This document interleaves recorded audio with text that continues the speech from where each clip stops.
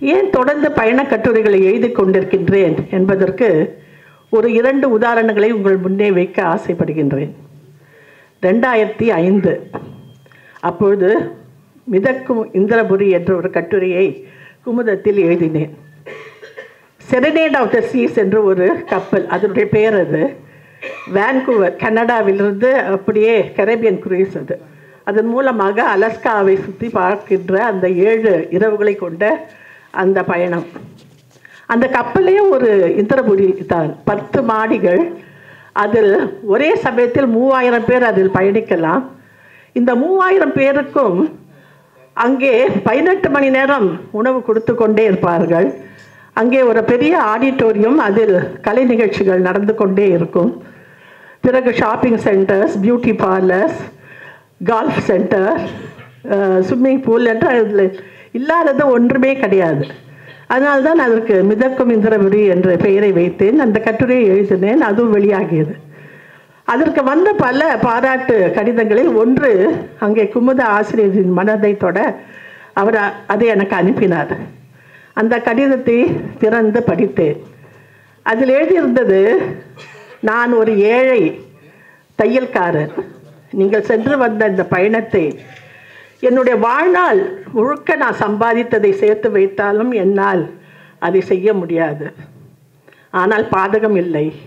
உங்கள் எழுத்து மூலம் உங்கள் கையை பிடித்து கொண்டு அந்த பய அந்த கப்பலில் நான் பயணித்து விட்டேன். நீங்கள் பெற்ற அனுபவங்கள் அத்தனையும் நான் பெற்றுவிட்டேன் நான் ஒரு முகவதியன். அல்லாவை வேண்டிக் கொள்கின்றேன். அவர் உங்களுக்கு நீண்ட ஆயுளையும் ஆரோக்கியத்தையும் கொடுத்து இதுபோல பல பயணங்களை நீங்கள் மேற்கொண்டு அதை எழுத வேண்டும் எங்களை போன்றவர்கள் படித்து மகிழ வேண்டும் என்று. அப்படியே உணர்ச்சி பிணமாகி போனேன். பூஜை ரூமுக்கு சென்றேன். கடவுள் முன்னே விழுந்து தொழுதேன். என்னுடைய கண்களில் கண்ணீர் பூத்தது. அப்போது முடிவு செய்தேன் பயண கட்டுரைகளை தொடர்ந்து எழுதுவேன் என்று. அதுபோல தான் ஒரு வாட்டி நாரதகாரா சபாவில் வந்து ஒரு மியூசிக் கான்சர்ட்டை பார்த்துட்டு வெளியில் வந்தேன். அப்போது ஒரு அம்மா ஓடி வந்து என்னோட ஃபோட்டோ எடுத்துக்கணும்னு சொல்லி ரொம்ப இது பண்ணி உங்கள் எழுத்துனா எனக்கு ரொம்ப பிடிக்கும் அப்படிலாம் சொல்லிட்டு இருக்கும்போது அவங்க ஹஸ்பண்ட் பின்னாலே வந்தார். வந்தவர் நேராக என்னை பார்த்து மேடம் நான் உங்கள் மேலே ரொம்ப கோபமாக இருக்கேன் அப்படின்னார். அப்படியே இது சார் இப்போ தானே ஃபஸ்ட் டைம் உங்களை பார்க்குறேன். நான் என்ன செஞ்சேன்? நீங்கள் என் மேலே கோபமாக இருக்கீங்க அப்படின்னு கேட்டேன். அதுக்கு அவர் சொன்னார் இவ்வளோ ரெண்டு வருஷத்துக்கு முன்னால் தான் சுவிட்சர்லாந்து கூ கூட்டிகிட்டு போயிட்டு வந்தேன். நீங்கள் பூலோக சொர்க்கம் சுவிட்சர்லாண்டில் ஒரு புஸ்தகம் எழுதிட்டீங்க. அதை படிச்சுட்டு அவள் சொல்கிறா என்ன சுவிட்சர்லாந்து கூட்டிகிட்டு போனீங்க? இந்த இடம் காட்டல அந்த இடம் காட்டல இந்த சாப்பாடு நான் சாப்பிடல. என்னை திருப்பி கூட்டிகிட்டு போன்னு சொல்கிறா உங்களால் எனக்கு ரெட்ட செலவு அப்படின்னார் இது போல் பல வேடிக்கையான அனுபவங்கள் கிடைக்கும். இந்த உரை வைக்கும் ஐஸ்லாண்ட் என்ற இந்த புத்தகத்தை நான் எழுதியதுக்கு மூல காரணம் விஜிபி சந்தோஷம் ஐயா தான். அவருடைய யூடியூப்பில் கோவிட் பீரியட் அப்போ அவர் வந்து உனக்கு பிடித்த நாடுகளுடைய வரிசையில் எது முதல் இடமோ அதை வந்து பேசுங்க அப்படின்னு சொன்னாங்க. நான் அப்போ தான் ஐஸ்லாண்ட் போயிட்டு வந்திருந்தேன். ஐஸ்லாண்டை பற்றி பேசினேன். அப்போ ஐயா மறுநாள் ஃபோன் பண்ணி சொன்னாங்க அம்மா நீ போயிட்டு வந்த இந்த ஐஸ்லாண்டு எவ்வளோ பிரமிப்பாக இருக்கிறது? அதை வந்து நான் போய் சுற்றி பார்க்க முடியாது. நான் வயசு வயதை தொலைத்து விட்டேன். அதனால் அதை பற்றி நீ ஒரு புஸ்தகம் எழுதி எனக்கு தரணும் அப்படின்னு சொன்னாங்க. அப்போ அவருக்கு வயசு எண்பத்தி ஐந்து. அப்போ வந்து நான் இந்த திருக்குறள் ப்ராஜெக்டில் ரொம்ப பிஸியாக இருந்தேன். அவர் வந்து ரொம்ப அன்பானவர். என்னை எங்கே பார்த்தாலும் தெரியல. என்னன்னு தெரியல. மகளே மகளேன்னு சொல்லுவார். நான் பதினாறு வயசில் எங்கள் அப்பாவை இழந்தேன். அவருடைய அன்பை வந்து இப்போ இவ அவர் உ- உருவிலே நான் கண்டேன். அவர் கேட்டாரே என்பதற்காக அதை எழுதினேன். அவர் கையால் அது வந்து வெளியிடப்பட இருந்தது. ஆனால் அஹ், துரதிருஷ்டமாக அவருக்கு உடம்பு நல்லா குன்றியதால் அவர் வந்து இப்போ மருத்துவமனையில் வந்து அட்மிட் பண்ணியிருக்காங்க. இன்னைக்கு காலையில் கூட என்னுடன் தொலைபேசியில் பேசி ரொம்ப வருத்தப்பட்டார். ஆனால் அதே அன்போடு கூடிய ஐயா ஜஸ்டிஸ் வள்ளிநாயகம் அவர்கள் வந்து இங்கே இந்த புத்தகத்தை வந்து வெளியிட்டது இறைவன் எனக்கு அளித்த வரமாக நினைக்கின்றேன். ஏனென்றால் வகித்தது ஜஸ்டிஸ் பதவி. திடீர்னு போய் நீங்கள் நாளைக்கு வந்து பண்ணுங்க அப்படின்னு முன்னறிவிப்பு இல்லாமல் கேட்ட உடனே அந்த பந்தா எதுவுமே இல்லாமல் கை கொடுத்த தெய்வம் போல வந்து இந்த புத்தகத்தை வந்து வெளியிட்டாங்க. அவங்க வந்து ஒரு இது எனக்கு ரொம்ப பிடிச்சது. அதாவது ஓட்டை விற்க மாட்டேன் ஓட்டை விற்க மாட்டேன் ஓட்டை விற்க மாட்டேன் என்று மூன்று முறை தினந்தோறும் சொல்லுங்கள். அப்போது இந்தியாவை விற்க மாட்டீர்கள் அப்படின்னு சொல்லியிருக்காங்க. என்ன ஒரு அரு- அருமையான சமுதாய சிந்தனை பாருங்கள் அப்படிப்பட்ட பெருந்தகை இங்கே வந்திருந்து இந்த புத்தகத்தை வெளியிட்டதற்கு நான் அனந்த கோடி நமஸ்காரத்தை தெரிவித்துக் கொள்கின்றேன். அடுத்ததாக திருமதி உலகநாயகி அம்மா. எந்த ஒரு அன்பு அதாவது தமிழ் இலக்கிய உலகத்தில் அவர் தெரியாதவங்க இருக்க மாட்டாங்க. ஆனால் ஒரு அன்பே உருவானவர். இந்த சொல்லுவாங்கல்ல உடு உடுக்கை எழுந்தவர் கை போல ஆங்கே இடுக்கண் க களைவதாம் நட்புன்னு அதுக்கு சரியான உதாரணம். அதாவது விஜிபிலேருந்து ஃபோன் வந்திருக்கு. ஏன்னா அவங்களோட இவங்க நெருங்கிய தொடர்பில் இருக்கிறாங்க. இதை போல் ஐயா உடம்பு சரியில்லாமல் இருக்காங்க தெரிஞ்சவுடனே ஃபோன் பண்ணி சொன்னாங்க. என்ன பண்ண போகிறீங்க என்ன பண்ணுறதுன்னு தெரியல. இப்போ கடைசி நிமிஷத்தில் வந்திருக்கு.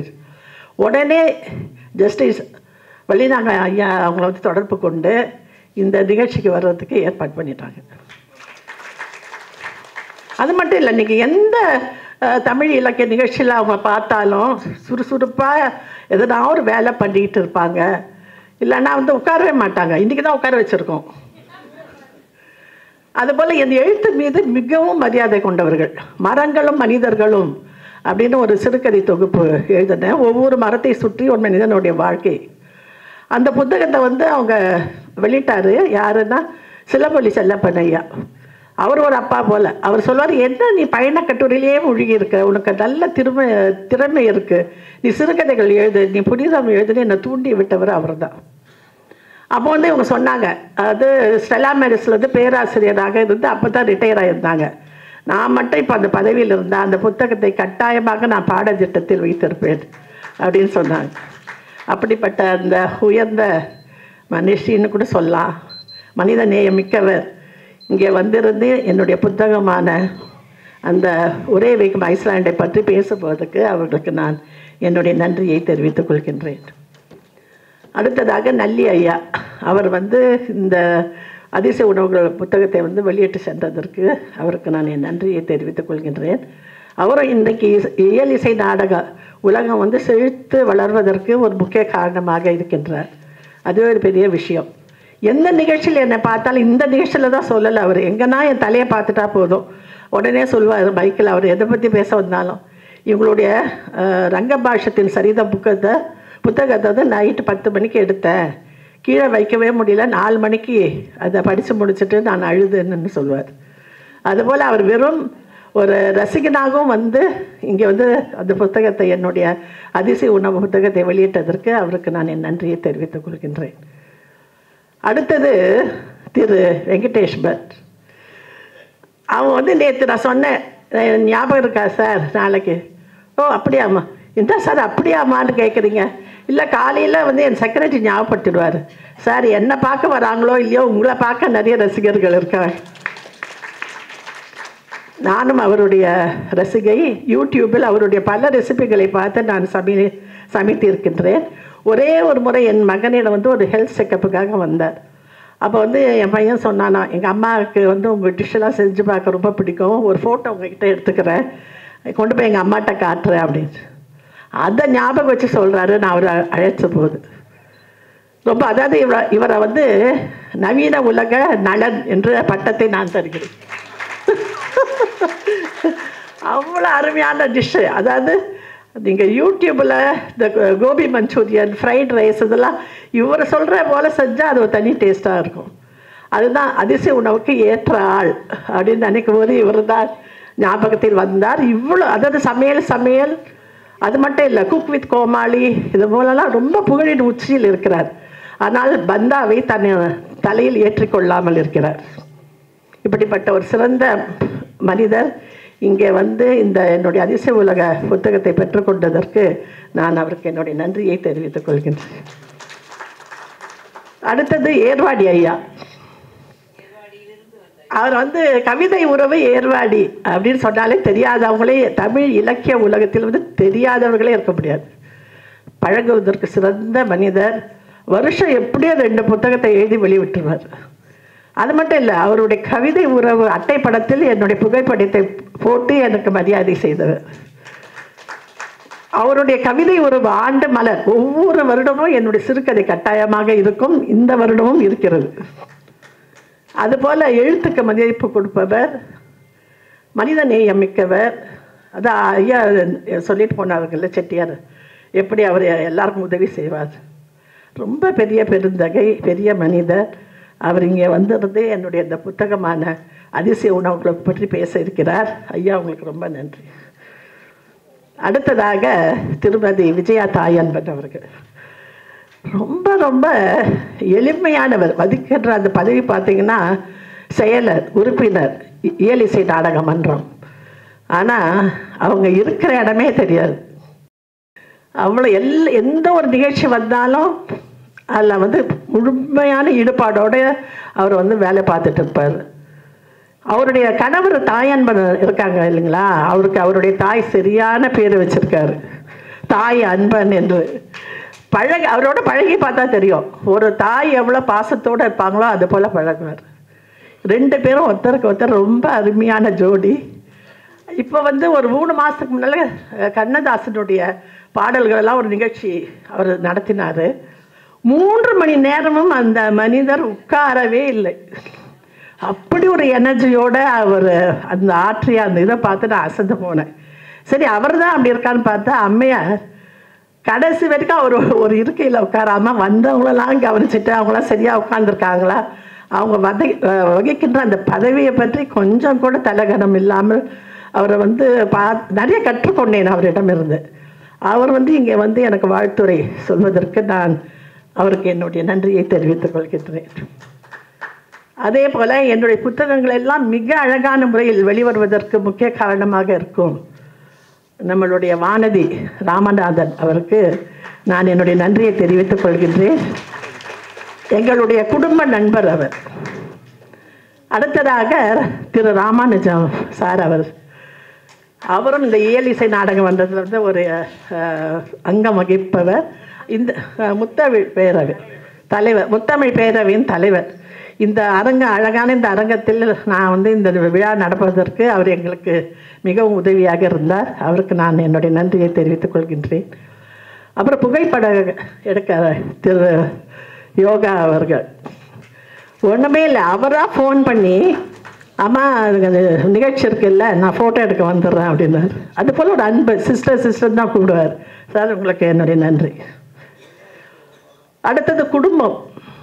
குடும்பத்தினுடைய ஒத்துழைப்பு இல்லை என்றால் ஒரு பெண்ணால் இவ்வளோ சாதிக்க முடியாது. அது வந்து முக்கியமான ஃபஸ்ட்டு நான் சொல்லணும்னா என்னோடய கணவர் டாக்டர் சிவகடாட்சி. ஒவ்வொரு பெண்ணுக்கும் பின்னாலும் ஒரு ஆண் இருந்தால்தான் இது போன்ற பத்தொன்பது புத்தகங்களை எழுதியிருக்கின்றேன். அதற்கு வந்து முதல் வாசகர் அவர்தான். கணவர் வாசகர் ஃபோட்டோகிராஃபர் ஏன் நான் பயணம் பண்ணும்போது அங்கங்கே நின்று போஸ் கொடுத்து அவர் தான் பாவம் கஷ்டப்பட்டு ஃபோட்டோ எடுப்பார். அப்போ சொல்வார் நான் இவ்வளோ கஷ்டப்பட்டு ஃபோட்டோ எடுக்கிறேன். நீ இந்த க உன்னை எல்லா பத்திரிக்கையில எழுதுற. பத்து வாரத்துக்கு ஒரு வாட்டி என்னுடைய ஃபோட்டோ வரணும். உன்னோட இருக்க. இல்லைன்னா அடுத்த வாட்டி நான் டிசைன் பண்ணிடுவேன் ஜாபை ஃபோட்டோகிராஃபர் ஜாபுன்னு சொல்வார். அதுபோல் எல்லாம் நான் எதனா ஒரு கட்டுரையோ இல்லை இந்த திருக்குறள் கதைகள்லாம் நான் எழுதுறதை பார்த்துட்டே இருப்பார். குடுன்னு வாங்கி படிப்பார். படிக்கும்போது நான் அவர் முகத்தையே பார்த்துட்டு இருக்கேன் அவர் வந்து ஒரு வாசகராக தான் படிப்பார். கணவர் கிணவர்லாம் ஒதுக்கி வச்சிருவார் அது கூட என்னுடைய வெற்றிக்கு காரணமாக இருக்கலாம். ரொம்ப அருமையாக வந்திருக்குவார் அவர்கிட்ட இது வரைக்கும் நான் ச என்ன இவ்வளோ மோசமாக எழுதியிருக்கேன்னு பேர் வாங்கலை. அதே நான் ஒரு பெரிய வெற்றியாக நினைக்கின்றேன். பிறகு என்னுடைய மகன் அவனும் எப்போவுமே என்னுடைய எழுத்துக்கு துணை நிற்பவன். இப்போ பேச போகிறான் பாருங்க கொஞ்ச நேரம் கழிச்சு. உங்களுக்கு நன்றி உரை ஃபோட்டோ கலாச்சி தள்ளிடுவார். அதுக்கப்புறம் இன்னொரு மகன் போல இருப்பது சீனு. இதோ இங்கே உட்காந்துருக்காரு பாருங்க. இன்னைக்கு நீங்கள் சாப்பிட்ட அவங்க வந்து ரொம்ப பாசமுள்ளவர் ஒவ்வொரு முறையும் என்னுடைய நிகழ்ச்சிகளுக்கு அருமையான ஸ்நாக்ஸ் சப்ளை பண்ணி அம்மா அம்மான்னு உயிரை விடுவார். அப்படி ஒரு நல்ல மனம் படைத்தவர். அதுக்கப்புறம் என்னுடைய மருமகளை பற்றி நான் கட்டாயம் சொல்லணும். ஐஸ்வர்யா. ஐஸ்வர்யா வந்து எனக்கு மருமகள் இல்லை. என்னுடைய மகள். அதை வந்து நான் எந்த மேடையில் வேணாலும் சொல்லுவேன். ஏன்னா நான் நிஜமாகவே கொடுத்து வச்சுருக்கேன். அப்படி ஒரு மருமகள் கிடைக்க. அவளுக்கு தமிழ் படிக்க தெரியாது. ஏன்னா அவள் ஹிந்தி தான் படித்தது ஆனால் நான் எழுதுனதை படிக்க சொல்லி கேட்பாள் என்னுடைய கதை சொல்லும் குரல் புக்கு முடிஞ்ச உடனே முதல்ல ஓடி போய் டல்லியில் ஃபோர்த் இயர்ஸ் நினைக்கிறேன். ரொம்ப காஸ்ட்லி புடவை கொண்டு வந்து கொடுத்து கொடுத்தா நான் ஏமா அப்படின்னு இல்லை நம்ம குடும்பத்தில் பெண் வந்து யார் இப்படி சாதிச்சிருக்காங்க? நீங்கள் சாதிச்சிருக்கீங்க. எதுக்கு? என்னுடைய ஹம்பிள் பரிசு சொன்னேன். அது போல். அப்புறம் பேத்தி இருக்கா பாருங்க. எங்கே? தியானா எங்க? ஆமாம் அவன் அதுக்கு மேலே. அவன் வந்து சொல்லுவா நீங்கள் ரொம்ப hard work you are doing much work தான். சிச்சா சிச்சான்னு தாத்தாவை. ஏம்மா அவர் எவ்வளோ பெரிய டாக்டர் எவ்வளோ இல்லை நீ தான் எப்போவும் எழுதிக்கிட்டே இருக்க.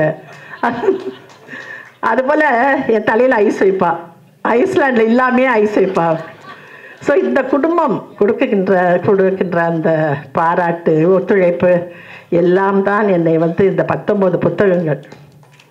பத்தொம்போது புத்தகங்களும் நான் பெற்றெடுத்த செல்வங்கள். ஒரு புத்தகத்தை எழுதுவது எவ்வளோ கஷ்டம் என்று அது எழுதி முடிக்கிறவங்களுக்கு தான் தெரியும். இவை வந்து எனக்கு பெருமை சேர்க்க போகின்ற கண்மணிகள். இவை வந்து என் என் கணவர் வந்து இந்த ஒரே வீக் ஐஸ்லாண்டை வந்து படிச்சுட்டு சந்தோஷ சார் சொன்னாரோ உனக்கு நோபல் பரிசு தரணுமா? நான் சொன்னேன் ஐயா அப்பா அப்படிலாம் அவ்வளோ பெரிய வார்த்தைலாம் சொல்லாதீங்க. எனக்கு ஒரு நோபல் பரிசு கிடைச்சிருக்குன்னு. உடனே ஆர்வமா என்ன என்னன்னு கேட்டேன். என்னுடைய கணவர் இருக்கிறாரே டாக்டர் சிவகடாட்சம். அவர் வந்து ஒரு முப்பத்தஞ்சு வருஷத்துக்கு மேலே ப்ராக்டிஸ் பண்ணுறாரு அவர் ஒரு நாள் என்னையே பார்த்துட்டு இருந்தார் என்ன? அப்படின்னு கேட்டேன். உடனே அவர் சொன்னார் இல்லை எனக்கு பிறகு ஒரு இருபது வருஷம் சொல்லுவாங்களா? டாக்டர் சிவகடாட்சன் ஒரு டாக்டர் இருந்தார் ஏதோ நல்லா பார்த்தாரு அப்படின்னு. ஆனால் நீ எழுதுகிற அந்த புத்தகத்திலையும் கட்டுரைகளிலும் பத்திரிகைகளையும் சாந்தகுமாரி சிவகடாட்சம்னு என் பெரிய சேர்த்து எழுதி எழுதுகிற இல்லையா? என்னுடைய பெயர் என்றும் நினைத்து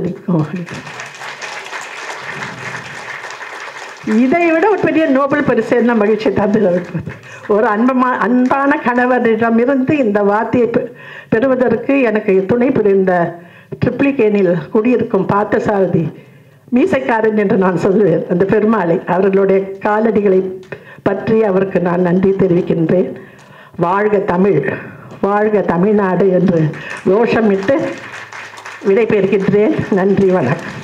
சாந்தா மேடத்தோட எழுத்துக்கள் எனக்குள்ள ஏற்படுத்தின தாக்கத்தை சொல்றதுக்கு இந்த ஒரு ரெண்டு நிமிஷம்லாம் ரொம்ப கஷ்டம். இருந்தாலும் சுருக்கமா சொல்றேன். அன்னைக்கு கூட அவங்கள்ட்ட நான் எல்லாத்தையும் பகிர்ந்துக்கல.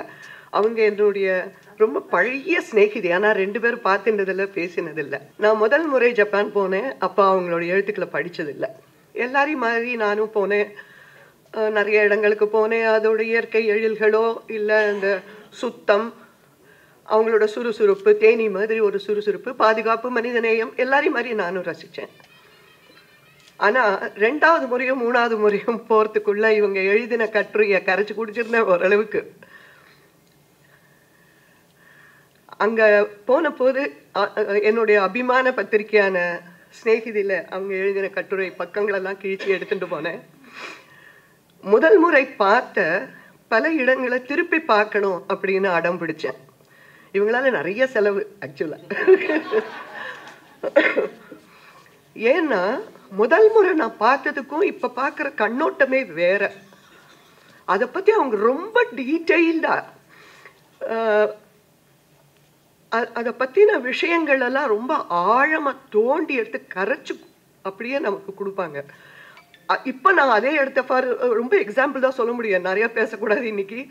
அந்த அசாகுசாவில் அந்த சென்சோஜி டெம்பிளோ இல்லை ஃபியூஷிமி இனாரா டெம்பிளோ நான் போகும் பொழுது அந்த அது அந்த பின்னணி அந்த வரலாறு அந்த வளர்ச்சி இதை பற்றியெல்லாம் இவங்க எழுதினதை படித்த போது இப்போ தான் எனக்கு வந்து it was so intimate to my heart அப்படியே ஒவ்வொரு விஷயமும் எனக்கு வந்து ஒரு பிரமிப்பு ஒரு நெகிழ்ச்சி இதெல்லாம் ஏற்பட்டது.